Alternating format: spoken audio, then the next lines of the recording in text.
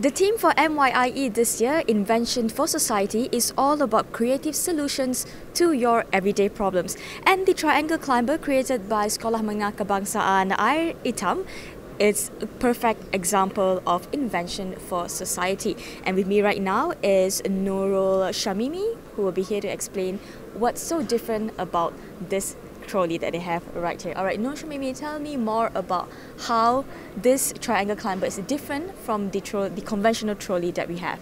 Okay, uh, first of all, I want to thank to our guide teacher, Ponce Siti Mariam Binti Idris, and our Mr. Principal, all our school teachers, our fellow friends, and not forgotten our both parents who has support us all this all this time. Okay, um, our product that we had invented called Triangle Climber. Okay, what it made is it special from the other triangle, uh, the other uh, trolley in the market nowadays. Um, our our trolley is um, multi-purpose trolley, uh, which is it can um, transferring or move goods um, up upstairs, and it can be laid down into a horizontal position, and it can uh, move or transferring goods um, for a long distance.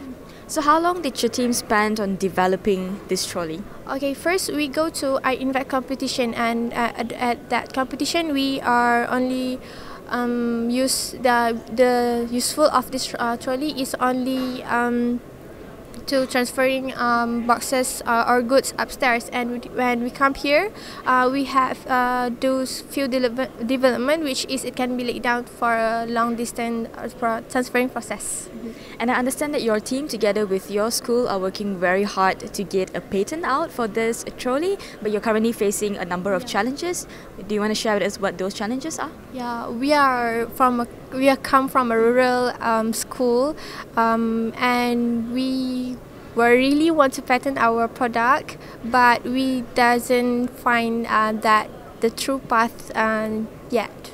But uh, and we hope that any um, authorized or any um, any person who are uh, interested to our product. Mm-hmm. All right, so I hope that your presence here at ITEX will increase your exposure for you to look for funders and also to realize your, your dream of getting a patent yeah. for your trolley. Thank you very much and best of luck tonight.